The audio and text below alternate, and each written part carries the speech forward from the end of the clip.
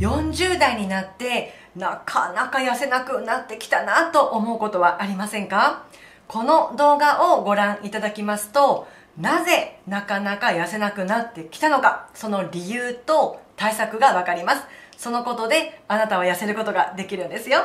それでは早速本題に入ってまいりましょう。なぜなかなか痩せなくなってきたのか？そのポイントはこちらです。代謝が落ちてきているからなんですね。その理由は年を重ねるごとに代謝が落ちてしまう。そのことで結果脂肪を溜め込んでしまうからなんですよね。例えば代謝といっても3つに分かれるんです。1つは全体の7割を占めている基礎代謝。で2つ目は生活活動代謝、まあ、要はこう運動で代謝を上げる部分ですよね。で3つ目残り1割が食べること。食事誘導性熱産性代謝ですよね。この3つから代謝は成り立っているんですね。なので代謝が落ちてきたということはもちろん運動して筋肉をつけて代謝を上げるのもいいんですがその力はたったの全体の2割なんです。ではポイントはですねこの7割も占める基礎代謝を上げてあげることが一番効率が良いですよってことになるんですね。なのでポイントは基礎代謝をいかに上げるかということで痩せることができるんです。ではここからどのように基礎代謝を上げればいいのかというお話になります。基礎代謝はですねまあ、生命維持エネルギーになるわけなんですけれどもその全体の約5割は内臓が占めてます。でこの内臓のうち一番割合を占めているのが肝臓27%になるんですね。なので内臓の中でも特に肝臓を元気にしてあげれば結果基礎代謝が上がって、まあ、代謝が上がって痩せることができますよということになるんですよね。ですので、まあ、残ったその先ほどの、まあ、筋肉なんかはまあ18%ほどになりますから、まあ、筋肉をつけつつですね肝臓をいかに元気にしてあげるかということがポイントになってくるんですね。で例えばですねこの基礎代謝実は1年ごとに0.3キロずつ脂肪をその増やしていってしまう、まあ、体になっていくんですよね。年を重ねると。なので例えば40歳の方であれば6キロ。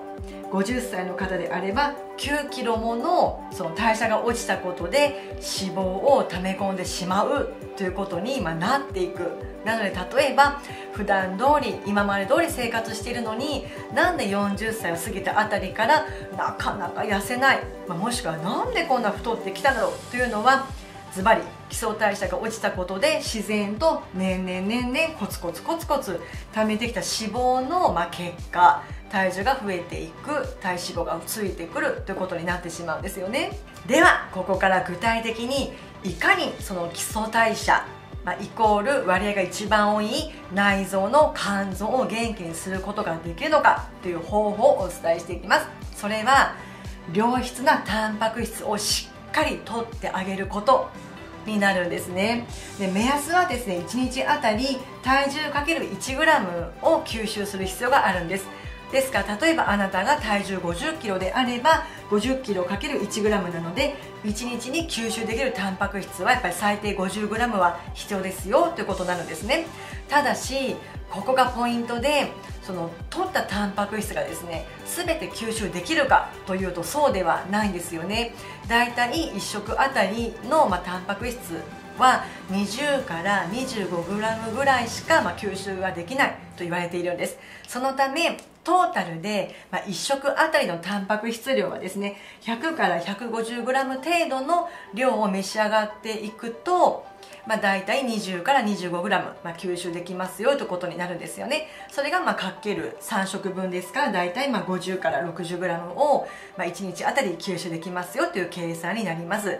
なのでもうとにかく朝昼晩しっかり良質のタンパク質を取ってあげることでその肝臓が元気になるプラス筋肉の元もタンパク質ですから特に女性は男性と比べて筋肉つきにくいので材料はしっかり取ってあげることが大事になってくるんですね。その時にポイントがあります。朝昼晩まんべんなく取ることです。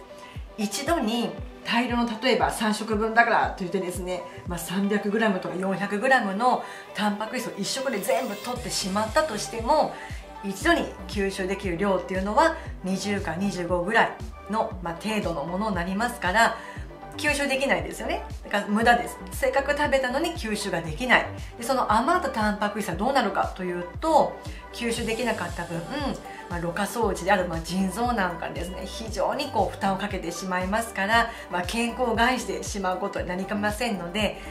ちゃんとタンパク質は良質なものであることそして朝昼晩まんべんなく適量をとっていくこと。でトータル吸収できる量は、まあ、50g 程度を目安に上手にとっていきましょうね。ということでしたね。さあ今回の動画のまとめです。とにかく40を過ぎたら自然と代謝が落ちますよ。その中でも7割も占める基礎代謝がポイントなんですよ。ということ。そしてその基礎代謝を上げるためには